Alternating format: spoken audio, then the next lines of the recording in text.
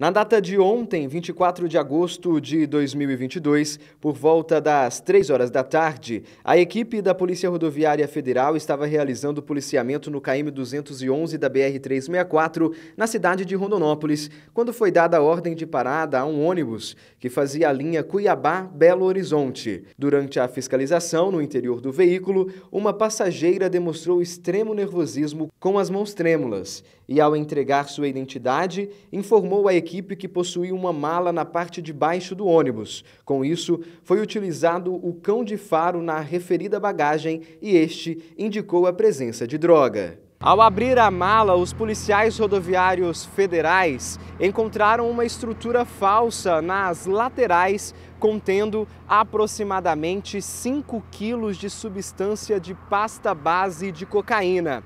A mulher preferiu ficar calada e foi encaminhada à Delegacia de Polícia Civil para as providências cabíveis.